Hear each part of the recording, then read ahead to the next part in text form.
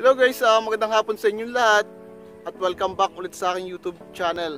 So time check tayo ngayon. So 3.30 PM ng hapon dito sa Tansa, Cavite. Ngayon, uh, sobrang init dito. So terik na terik ngayon ang araw. So makikita nyo, mapansin nyo, ayan.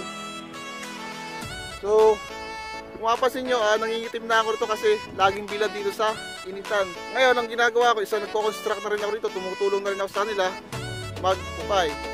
Ngayon, uh, punta tayo rito sa ating site. So, titingnan natin yung naging uh, accomplishment para ngayong araw. So, proceed na tayo dito. So, ayun guys, uh, ito na yung ating uh, mismong actual na view ng ating uh, site. Ayan, so kung makikita nyo, 50 square meter. So, malaki na talaga yung accomplishment. Ngayon, ang ginagawa nila is nagukay na silang lahat para matapos na yung uh, hukayin para sa ating mga poste. And then guys, yung ating mga poste yan, so ito yung ating itatayo sa susunod na araw. So kompleto na yan, 14 na yan. So ngayon guys, mapasok tayo rito sa loob. So ayan. Ayan guys, ito yung at panabi niya. Ayan, so kompleto yung kanyang hukay para sa ating poste. Ayan. So mapansin nyo, ah, malalim na siya. Ayan. So tinutubig na. Ayan, so ayan. Yung inukay nila sa gitna is yung para sa poste na lang. So gitna na lang kuya Mariang kulang na. So gitna na lang and then yung ating mga cross beam. Ayan, so yung papatungan ng ating hollow block. So ayan guys. So ito sila.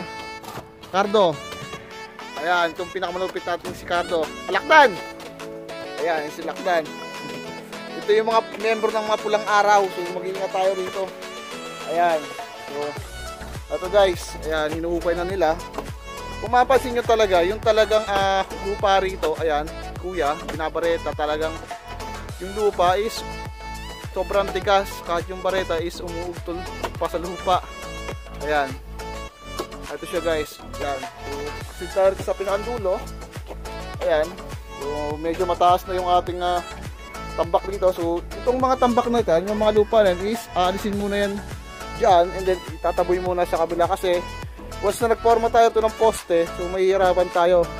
So guguha ng guguho yung ating lupa. So matatabunan matatabunan ulit yung ating mga hinukay kaya ang gagawin nila is aalisin nila yung uh, lupa and then ibabalik ulit nila once na nabuhusan na yung ating uh, ginagawang uh, uh, building dito sa ating lugar. So ayan.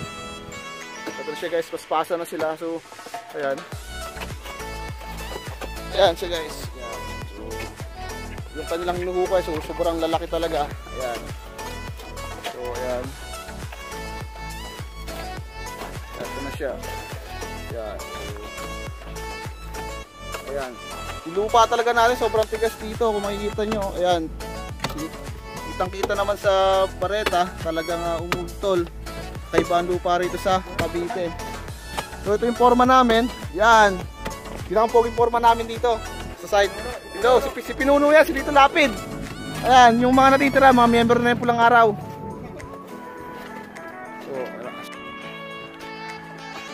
So guys, uh, in-update ko lang kayo kung ano na yung uh, laging accomplishment dito sa ating uh, site. Ngayon, yung ating uh, pagbubuhos ng ating uh, mga bigat, mga poste is ngayong darating na 29. So susundin natin yung kagustuhan ng ating uh, may-ari kasi meron silang uh, mga sinusunod na pamahiin. So, ganun lang guys yung idea. So, ngayon guys, ang gagawin natin is mag-shoutout na tayo kasi sobrang init na rito eh.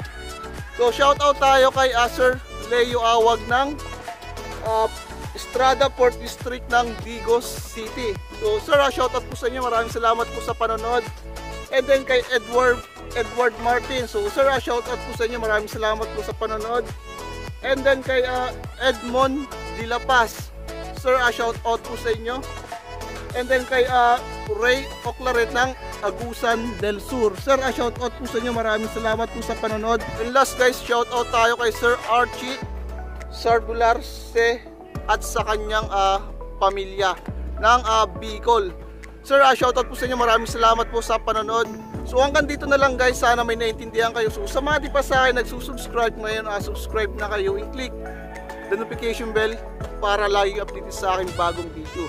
So sa mga gusto magpo-shoutout, ang gawin nyo lang is comment nyo lang yung pangalan nyo and address para sa susunod na vlog is ma-shoutout ko kayo. So hanggang dito na lang guys and see you when my next.